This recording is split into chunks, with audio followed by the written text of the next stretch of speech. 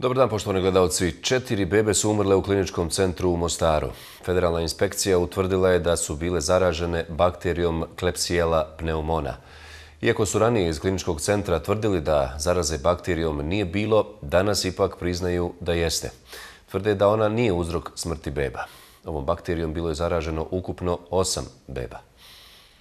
Bebe koje su preminule bile su, kako su pokazali nalazi, zaražene bakterijom klepsijelom koja je zajedno sa ostalim zdravstvenim problemima koje su imale, kao i činjenicom da su rođene prije 36. sedmice trudnoće, doprinjela njihovoj smrti. Prema riječima direktora su učilišta kliničke bolnice Mostar, ove bebe su okarakterisane kao nedonoščad, te su samim tim ispadale u rizičnu skupinu. Trudnoća traje 42 tjedna, tog časa je djete zrelo za borite sa vanjskim svijetom i, i takva djeca počesto ugrožena. S druge strane, medicina je otišla toliko da neke stvari neke diagnoze koje nekad nisu imale šansu preživiti, prežive, što ne znači da su ta djeca potpuno zdrava. Četiri preminule bebe su već nakon porađaja imale četiri ili pet teških diagnoza koje su zajedno sa rezistentnom klepsijelom rezultirale njihovom smrću. No, Kvesić priznaje da postoji mogućnost da bi neke od beba preživjele da nisu bile zaražene bakterijom. Da li su klepsijele pomogle da umru? Vjerovatno da. Dakle, kažem, kad vas peti udara, pa ovaj šesti još, e, bilo bi dobro da ih nisu imali. Međutim, e, sve diagnoze koje su ova, sve četiri bebe, nažalost, imale su bile smrtonosne. E, da li bi se još neka izvukla da nije bilo klepsijele, ja to ne znam. Možda i bi, možda i bi, mislim, to je tako. Ljekari objašnjavaju kako je bakterija klepsijela normalan dio crevne flore te da problem predstavlja upravo rezistentna klepsijela protiv koje se bebe nisu mogle boriti. Prema svakodnevnim brisevima beba i površina, klepsijela nije pronađena. Ustanovljeno je da su bebe zaražene kada su 5 dana nakon briseva katetera stigli rezultati krvi.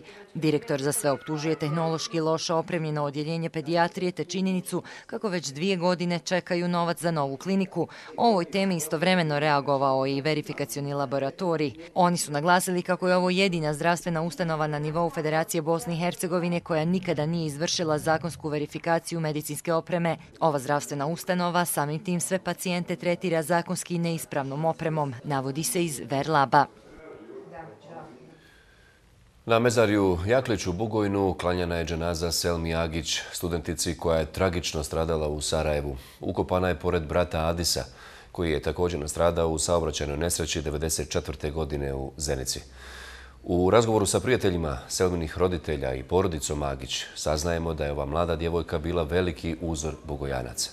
Svi su je voljeli i kažu da nikada neće zaboraviti njenu vedrinu i njen osmih.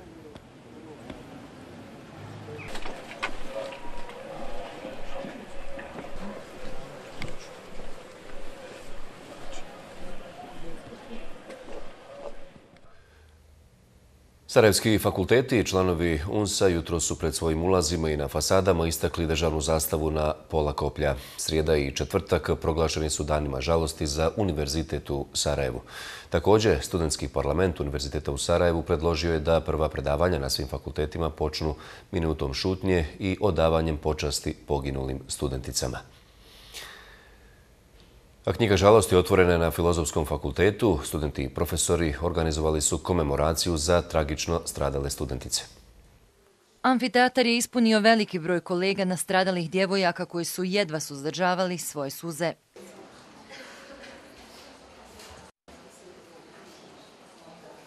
Minutom šutnje i stihovima pjesme ima jedna modra reka Makad Izdara. Studenti i profesori oprostili su se od nesretnih djevojaka. Imala sam čast i privilegiju da se umije diti predajem čitavu proteklu školsku godinu i sa radošću sam iščekivala naš sljedeći susret u ovoj školskoj godini. Ali mjesto na mom spisku, prvoj 35, ostadoše prazno. Kolegica Selmi Jedite drhtavim glasom govorila je kako najviše žali što je posljednje i najljepše riječi sačuvala za momente koje one, nažalost, neće čuti. Na našoj posljednjoj kafi bi uživala više, trajala bi sasigurno duže. Sasvim sigurno bi naš posljednji pozdrav zagrala bi jače. Na psihološkim partijima bi naručila jednu pjesmu više. Da sam barem znala, ali nisam. Haris se sa Editom i Selmom rastao te kobne noći kada su djevojke poginule. Tada ih je posljednji put i pozdravio. Tog sljedećeg dana sam proveo plačući, tugujući. Jedva sam došao na komemoraciju da je priložim cvijeće, ali jesam, jer tu sam da ispoštujem svoje drugarice, svoje dvije osobe koje su mi toliko značile u takvom kratkom vremenu koje sam ih upoznao. U fakultetskom holu otvorena je i knjiga žalosti.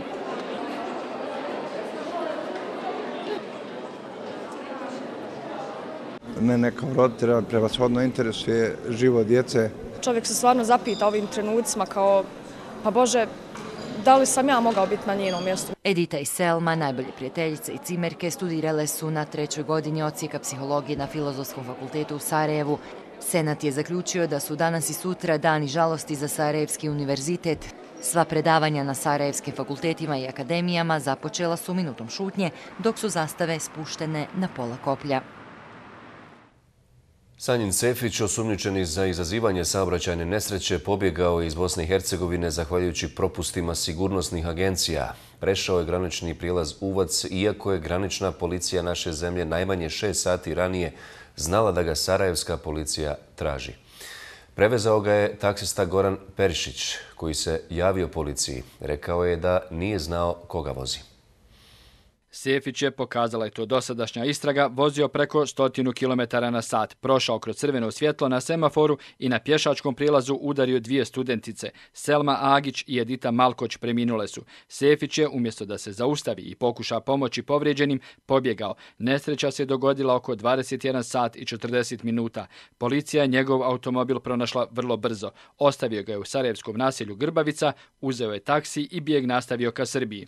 S obzirom da se navedeno lice udajilo sa lica mjesta u cilju pronalaska istog ilišenja, e, obavješteni su svi policijski službenici na području kantona, kao i druge policijske agencije u Bosni i Hercegovini.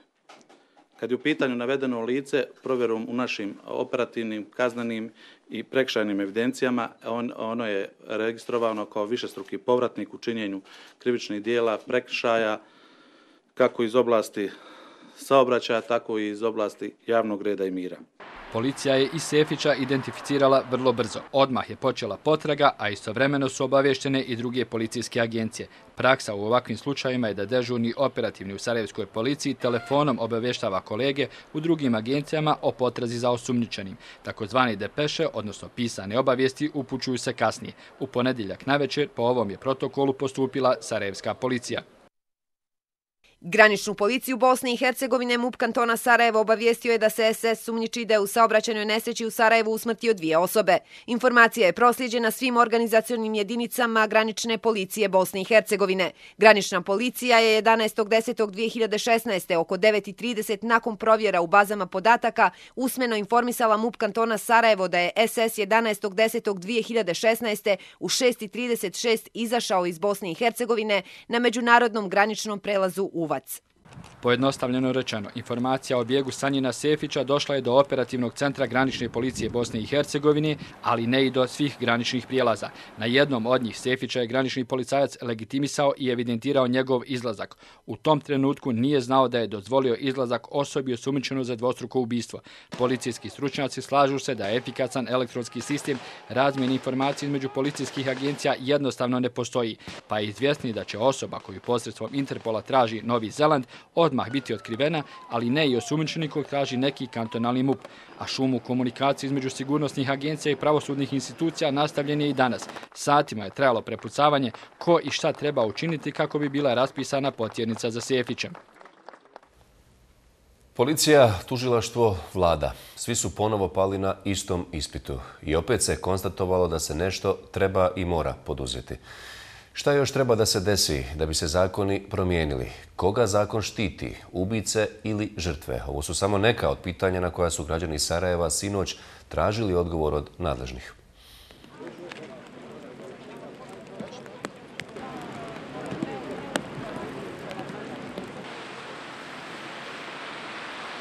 Mirno u tišini građani Sarajeva opet su se na ulicama grada solidarisali s porodicama čija djeca su ubijana na ulici. Još jednom su podsjetili da se osjećaju nesigurno i nezaštićeno. Imam dvoje djece, šta da očekujem? Lično sam svjedok ovdje prelaženja preko ulice i nekažnjavanja, svašta, vjerujte. Mislim, nemam riječ, iskreno. grozno. Ne možemo se mi onaj puno osloniti na bilo koga drugog, nego moramo krenuti prvo od sebe i od svoje djece. A onaj, ja kažem, ovo je mogla biti moja Sara večeras. Neko mora stati u kraj svemu ovom, neko mora preuzeti odgovornost i reći ja sam kriv. Protestima su se priključili ljudi čiji članovi porodice su nastradali na isti način. Otac osmogodišnjeg dječaka koji je brutalno zgažen na stupu prije četiri godine osjeća se izdano i prevareno. Moje djete poginulo prije četiri godine. Hamza mali marvac na stupu. Još niko nije dana odgovarao. Istjerali su me iz tužilaštva. Pratio sam, žao mi je. Jeste li vidjeli? Sudnica je ustala i rekla imala sam loš dan, molim vas, zvaću vam policiju i začite. Ubica mog Hamze se ljulja na stolci, ja šutim. I svaki put ista priča. Ubica pobjegao ljudi na ulicama, a od promjene zakona ništa. Ni odgovornosti. Koga zakon štiti? Građane ili ubice? Ono što možemo konkretno uraditi je možemo promijeniti zakone. Zakone koji se direktno odnose na počinioce ovakvih krivičnih dijela koje evo još uvijek nisu uhvaćeni. Nažalost, Sarajevo u ovom trenutku postalo središte jedne razularenog kriminala kojim, se, kojim vlast koja trenutno vlada ovim gradom ne može stati u kraj. Ko je sljedeći, možda ja? To je pitanje koje su nezadovoljni građani uputili policiji tužilaštvu. Građani moraju, moraju istrajati i, i, i evo već godinama se skupljamo na sličnim skupovima izazvani smrću nekoga i, i tražimo jednostavnu stvar ne može jednostavnija, to je sigurnost. Ne mislim ništa da možemo mnogo promijeniti, samo jednu jasnu poruku da pošaljemo vlastima, da se mora raditi mnogo na sigurnosti saobraćaja, mladi životi odlazi. Sve što se treba učiniti je zaista da se dignu ruke za nove zakonske prijedloge.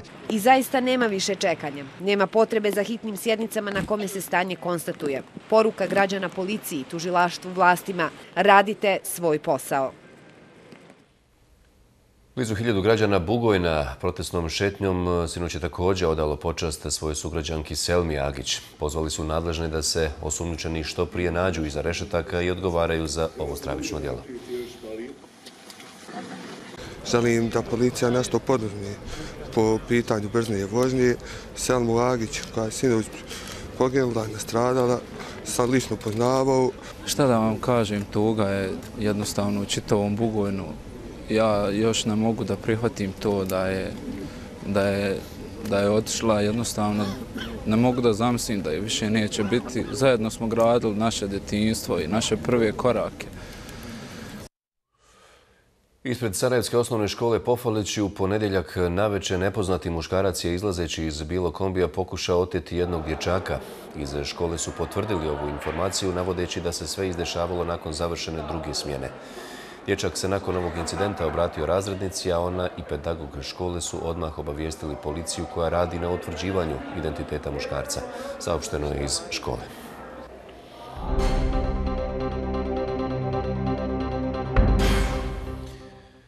Vladen Grujičić je povećao prednost u odnosu na Čamila Durakovića za tačno 2000 glasova u utrci za načelnika Srebrnice. Duraković poručuje da borba još nije gotova te poziva CIK da poništi izbore u Srebrnici. Ovaj poziv Milorad Dodik smatra fašističkim. Novi rezultati koje je objavila Centralna izborna komisija kažu da Grujičić ima 4596, a Duraković 2596 glasova. Još aktuelni načelnik Duraković kaže da bez obzira na ishod, državne i međunarodne institucije moraju shvatiti da 50% glasova za srpskog kandidata dolazi iz Srbije. S druge strane, dodao je, brojni bošnjaci u inostranstvu nisu dobili na vrijeme izborne materijale. Borba još traje i nećemo odustati od cilja, a to je ponavljanje ovih nefer i pokradenih izbora. Srebrenica još nije pala. Pozivam CIK da poništi izbore u Srebrenici, te tražim organizaciju i ponovno održavanje do kraja godine. A kada se izbori ponove, tražim da svi izađu, te podrže našu borbu protiv politika koje negiraju genocid. Izetbegović i Duraković ne mogu prihvatiti Grujičićevu pobjedu, poručio je predsjednik Republike Srpske.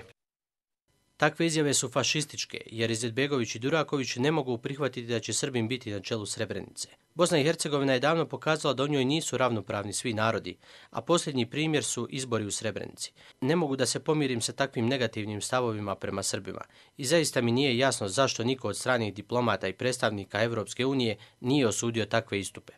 No, da krivice za već očit poraz imaju u bošnjačkim redovima, više je nego Jasan Duraković. Sve probosanske stranke pojašnjava imaju postotinja glasova više od njega. Krivim smatra predstavnike tih stranaka na lokalnom nivou. Bojim se da tu je došlo zaista do neodgovornog ponašanja nekih pojedinaca koji su mogli da naruše krajnji ishod izbora. A to evo dovoljno je da ja imam recimo 126 poništeni moji listića, a to možda može na kraju da bude razlika između mene i Mladena Grujičića koji može biti načelnik na osnovu toga što je možda neko neodgovoran od strane Bošnjaka u opštskim izbornim, odnosno u biračkim odborima ili eventualno posmatrači koji su bili na terenu. Raznih nepravilnosti kojima su doprinijeli bošnjaci bilo je tokom izbora, kaže Duraković. No više detalja će zaključuje reći kada rezultat izbora u Srebrenici bude konačan. Popis stanovništva u Bosni i Hercegovini je validan, potvrdio to direktor Eurostata i predsjedavajući upravljačke grupe Imotima Peter Everas. Ovakve rezultate ranije nije priznala Republika Srpska te je najavila objavljivanje sobstvenih. Na današnjem sastanku sa predstavnicima Eurostata u Sarajevu predstavnici iz Republike Srpske nisu se pojavili iako su bili pozvani. Imo timovi koji su posmatrali popis u Bosni i Hercegovini isproveli su 25 misija. Oni se smatraju odgovornim za ispunjavanje međunarodnih statističkih standarda. IMO zaključuje da je popis u Bosni i Hercegovini proveden u cijelosti u skladu s međunarodnim standardima, iako je pritisak koje su izazvale diskusije o vjerskoj pripadnosti i slično uticao na upravljanje postupkom. Ovaj popis nije priznala Republika Srpska narodna skupština i usvojila zakon obradi rezultata popisa i do kraja godine planira da objavi svoje rezultate. Za Republiku Srpsku prije same objave rezultata popisa bilo je sporno nešto manje od 200.000 osoba koji su evidentirane kao rezidenti, dok su srpski predstavnici smatrali da su oni nerezidentni stanovnici Bosne i Hercegovine. Everars kaže da ima timovi smatraju da je ovaj način obrade podataka u skladu sa međunarodnim standardima. Očekujemo da će Republika Srpska ponovo analizirati ishod popisa, koristeći možda nešto različite programe za razvrstavanje. Mi pratimo sve postupke u vezi sa popisom, naravno i diskusije između dva instituta. Kontrolni popis je pokazao da je popisom iz 2013. godine obuhvaćeno 200.000 stanovnika koji nisu trebali biti popisani, dok istovremeno na popisu nema oko 40.000 stanovnika koji su trebali biti popisani, potvrdili su juče iz Agencije za statistiku Bosne i Hercegovine. Pretjerano popisivanje je bilo 4,6% i to ne prevazilazi rezultate u brojnim drugim zemljama. Imo timovi su vodili računa da se ispoštuju evropski standardi, da se obezbijedi povjerljivost podataka, obrada podataka, da se pripreme uslovi za njihovo skladištenje te njihovo uništenje. Mislim da će rezultati popisa igrati i dalje važnu ulogu, ne iz razloga o kojima je bilo riječi na političkoj sceni, o vjerskoj i etničkoj pripadnosti. Što se tiče Evropske unije, to nisu bitna pitanja. A ja bih također dodala da se, da bi zaista bilo dobro i poželjno da se svi e, podaci koji su prikupljeni u okviru censusa dobro analiziraju i da se upotrebljavaju u e, svrsishodno Rezultati popisa obavljenog 2013. godine objavljeni su u junu ove godine. U Bosni i Hercegovini prema tim rezultatima živi nešto više od 3,5 miliona stanovnika. Takmičenjem u Mostaru završen je ovogodišnji ciklus street basketbol turnira za osnovce i srednjoškolce. Domaćini turnira ove godine bili su Mostar, Banja Luka i Sarajevo. Takmičenjem u Mostaru završen je ovogodišnji ciklus street basketbol turnira u uličnoj košarci za osnovce i srednjoškolce. Domaćini turnira ove godine bili su Sarajevo, Mostar i Banja Luka. Cilj ovog projekta je unaprijediti i omasoviti amaterski sport u Bosni i Hercegovini te obuhvatiti što više djece i mladih u samom početku njihovog razvoja. Više od 1700 djece je ove godine nastupilo na takmičenjima u raznim sportovima koje organizuje agencija B40. Titule najboljih u Mostaru ove godine su osvojile ekipe Gimnazija Fra Grge Martića Mostar, Osnovna škola Mustafa Jubović, Srednja škola Slavka Barbarića Čitluk i Srednja strukovna škola Posušje. Učestvovalo je 56 ekipa iz 24 osnovne i srednje škole iz Mostara, Posušja, Čapljine, Stoca, Širokog brijega, Čitluka i Bune. Osvojili smo četvrto mjesto, sjajni smo bili, ali da smo imali malo više sreće, bili bi puno bolji. Sreći smo što smo osvojili, nismo se ni toliko nadali, možda pobjedi, bitno nam je najviše da učestvujemo i da se fino zabavimo. Pobjedili smo, osvojili smo turnir, turnir je bio ekstra, ono, fino, svaki dan je bio sunčan i sve je super. Na takmičenju u Banja Luci učestvovalo je 60 ekipa iz 23 osnovne i srednje škole u pet konkurencija. Titule najboljih na ovogodišnjem takmičenju odnijeli su medicinska škola, ekonomska škola, srednjoškolski centar Gaudamus, osnovna škola Georgi Stojkov Rakovski i osnovna škola Miloš Crnjanski. Ja sam Milica Zeljković, dolazim iz medicinske škole, ovo mi je druga godina da učestvujem na ovom turniru ove godine smo osvojili prvo mjesto, drago nam je. Mi smo ekipa ekonomske škole, pobjednici ovog turnira u kategoriji četvrtih razreda. Ovaj, nastavili smo tradiciju naše škole, pošto je naša škola prošle godine isto bila osvajač ovog turnira. Na turniru u Sarajevu učestvovalo je 236 školaraca u tri konkurencije. Najbolje su bile ekipe osnovna škola Čengić Vila 1, a momci iz treće gimnazije bili su pobjednici i u konkurenciji do drugog i u konkurenciji do četvrtog razreda. U ova tri grada odigrano je ukupno preko 300 mečeva, a za najbolje su bile obezbjeđenje i vredne nagrade. Vremenska prognoza, posljednji je sadržaj, dnevnika u 17. Hvala na pažnji, doviđenja.